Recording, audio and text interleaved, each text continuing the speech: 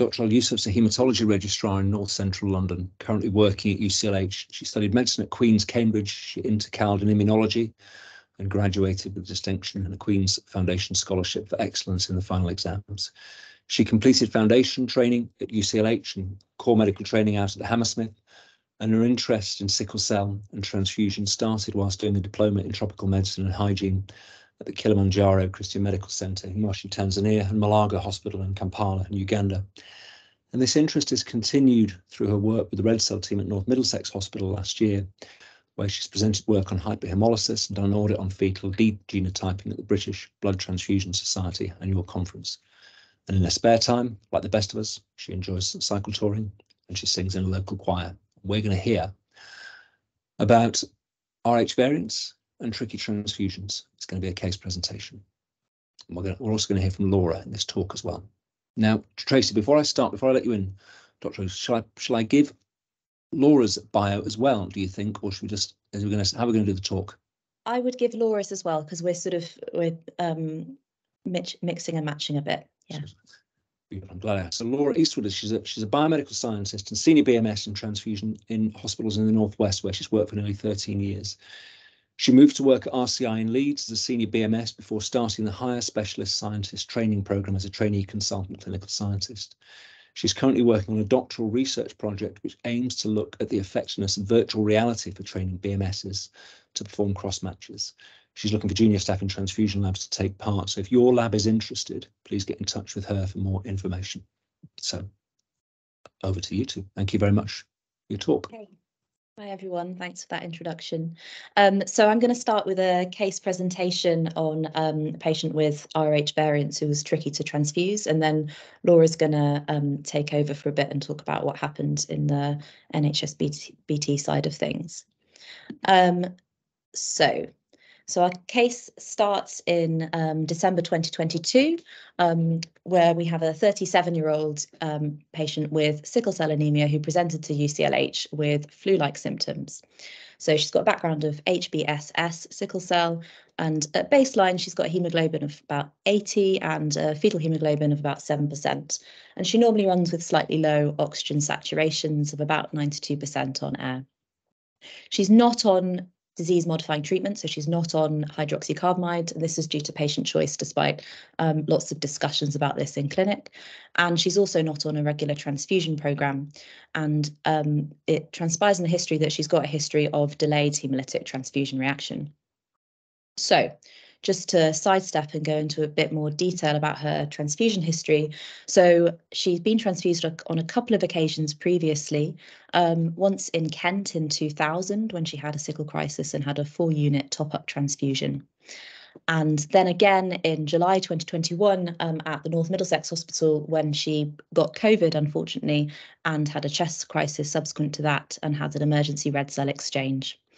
Now, this was significant because a few weeks later, she presented back to the North Middlesex. I was actually a registrar there at the time, um, where she had delayed hemolytic transfusion reaction with an anti-HRB antibody detected. She was um, really unwell, actually. Her hemoglobin dropped to 49, um, and um, she required sort of um, ITU management. Um, with a little bit of digging, it transpired that she'd actually had this anti-HRB that was also identified in Kent back in 2000 following her previous transfusion. Um, so uh, I still remember this really well. I was on the wards at the time, and she um, was super unwell in August with her really low hemoglobin. And after much umming and ahhing, she had a three-unit top-up transfusion with frozen units um, with IVIG and IV methylpred cover, and she was transferred to UCLH where she was monitored in their ITU. And thankfully, made a full recovery and didn't require any further units at that time. So this is all in her background. And um, let's fast forward again to December 2022 when she's come into UCH again with these flu-like symptoms. So she comes in, she's got a fever and a cough, and she tests positive for flu A. Her SATs are quite a way behind, but below her baseline. She's got oxygen saturations of 85% on her, and she's requiring four litres of oxygen um, to saturate 96%. Her bloods are not particularly remarkable at this stage. Her hemoglobin is 70, so a bit below her baseline. The rest of the bloods are not particularly remarkable, and her CRP is only 2. And her chest x ray is fairly unremarkable as well. However, obviously everyone is quite concerned, particularly given her history and her high oxygen requirement. Um, the we know that it's going to be really, really difficult to transfuse her um, given the issue she had the year before. So she's covered with Tamiflu and antibiotics, and she's transferred to the intensive care at UCH to have high flow oxygen, um, doing anything we can to try and avoid her needing a transfusion. But understanding that she'll probably end up she may well end up needing one. A discussion's had with, at this point with NHSBT, and um, several group and screens are sent. She's got um, an anti-HRB detected again, and she's also got an anti-Big E at this point. Her hemoglobin is starting to drop. She started on erythropoietin, 20,000 units daily. Um, she's also given folate and her iron and B12 are checked. And in anticipation of the fact that she might need transfusion, she's given methylpred and IVIG. Unfortunately, she does, over the following week, she does start to deteriorate. Her oxygen requirement goes up, so she's on 60% FiO2, so really high um, oxygen requirement in the intensive care. And she's in absolute agony. She's on a clonidine infusion and ketamine infusion in the ITU, so re really in lots of pain. Um, unfortunately, her hemoglobin is now starting to drop um, further, and it goes down to 47 um, in early January. With this, she's got new consolidation on her chest x-ray that you can see there, and her CRP has jumped right up, so um, a marker of infection. She's escalated to really broad spectrum antibiotics, but things are really not going in the right direction at this point. And hopefully you can see here, this is just a graph showing what her hemoglobin is doing. So it starts off in the about 70 when she first comes in, but over the new year it drops and drops and drops and reaches is in the 40s by early January. So what do we do next? do we transfuse and how do we find blood? Um, so Laura's going to take over for a bit here and talk about what happened on the lab side. Thanks, Hannah.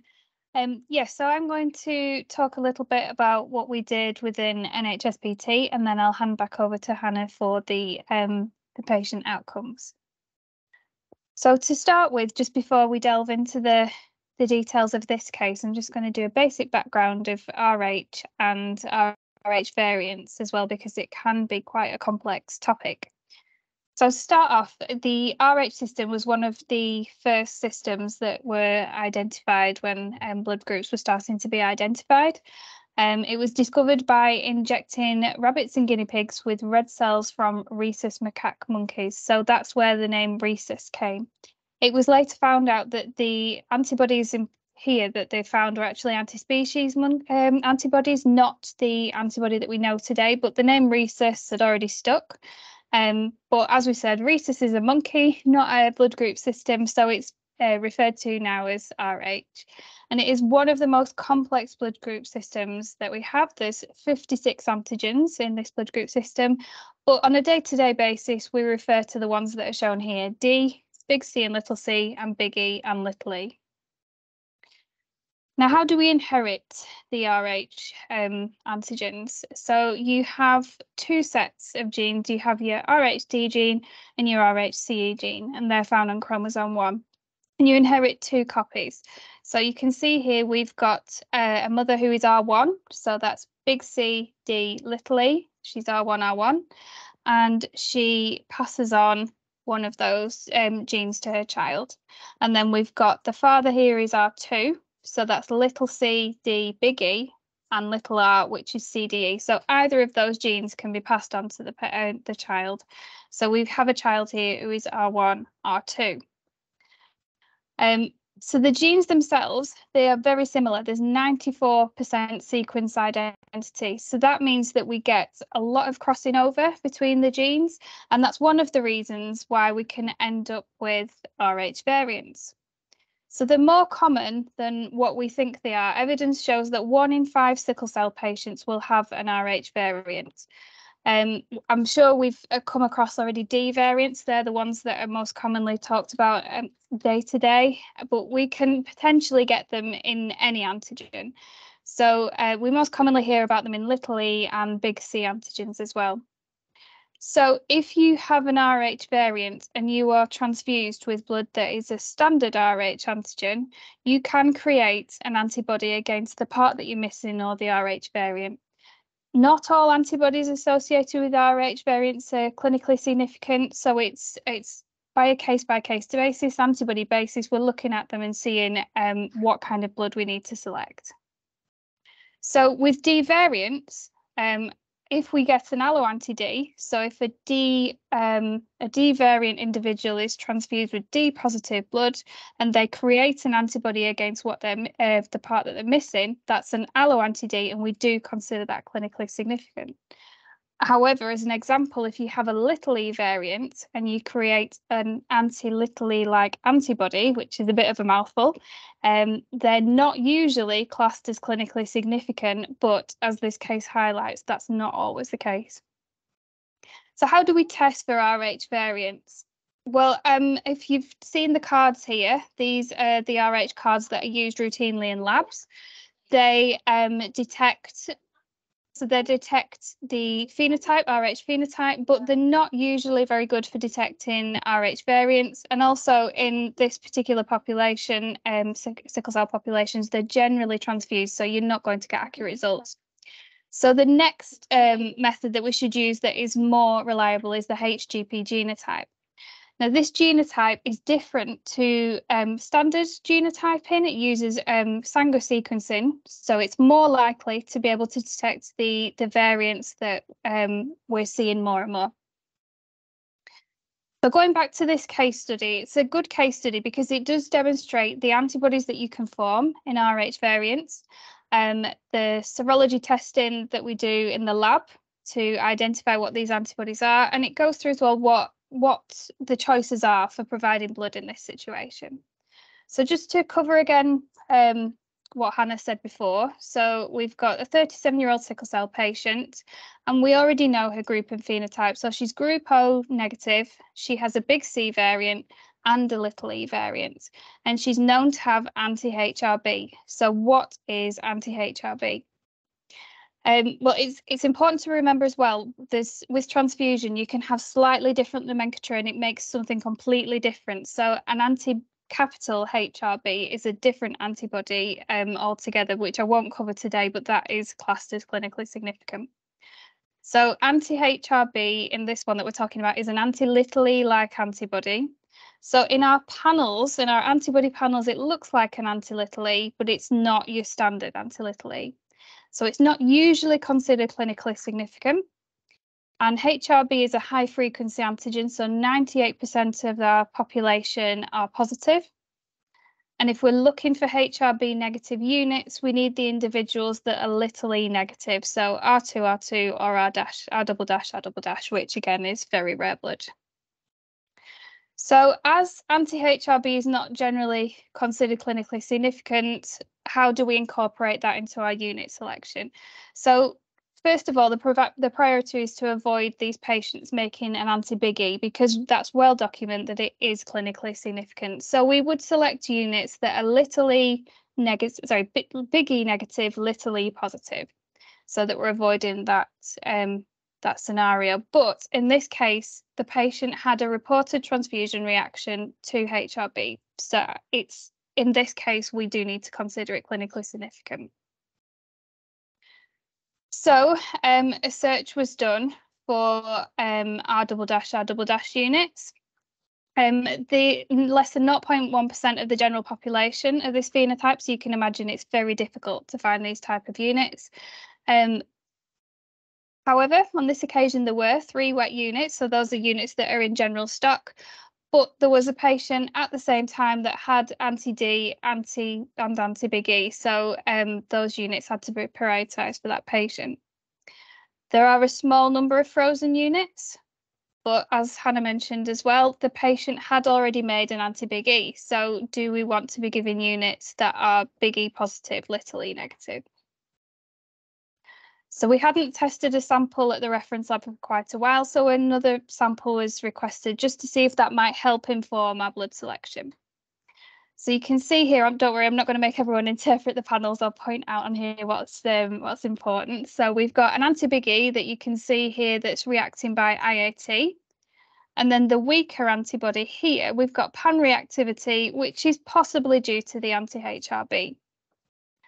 So bearing that in mind, we've got a stronger reacting anti-Big E and a weaker reacting anti-HRB.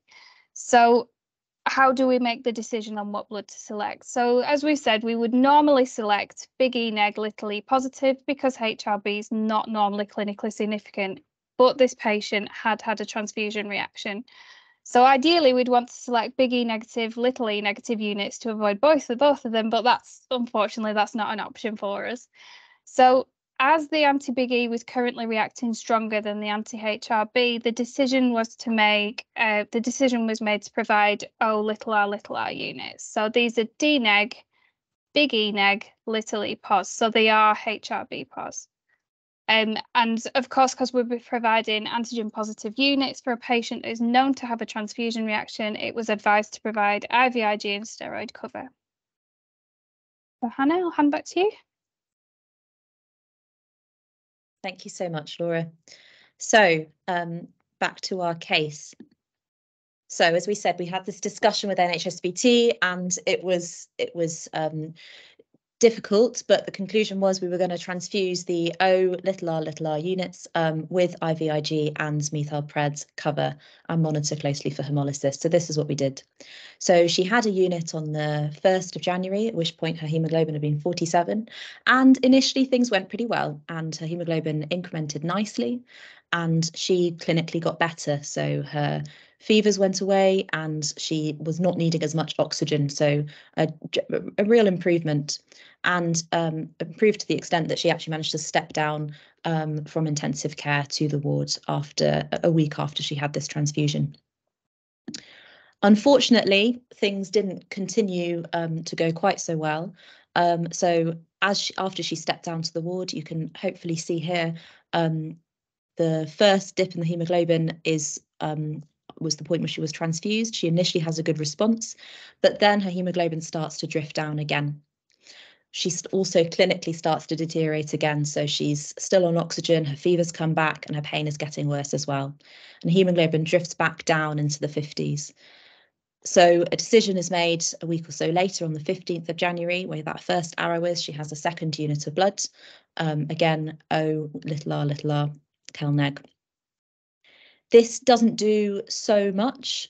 Um, didn't I think she didn't actually have this unit with um, IVIG cover, um, uh, possibly an error. So um, she didn't really increment so well and um, didn't make much clinical improvement. So she had another unit of blood on the 18th of January um, with IVIG cover this time because the hemoglobin was still really low. It'd gone back to 47.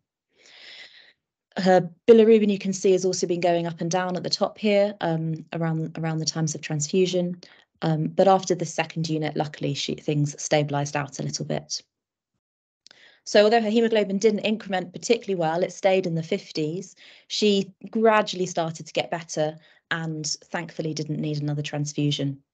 And you can see here what her hemoglobin in pink and her reticulocyte count in purple and then her bilirubin in green have done over this time. So going up and down, but at the point of these arrows where she's transfused, you can see after the last arrow on the 18th of January, things slowly, slowly, slowly start to get better. She doesn't need any more transfusions. And finally, but, um, on the 5th of February, so six weeks after she's first come into hospital, she um, gets discharged with a hemoglobin of 74 and a bilirubin is 19. So she's not hemolyzing at this point. So I spoke to her in clinic a month or so later. She was doing really well. Um, unfortunately, still um, adamant that she did not want to go onto hydroxycarbamide, unfortunately. So that's an ongoing discussion, but thankfully doing much better. And we'll just cross our fingers that she doesn't need another transfusion anytime soon.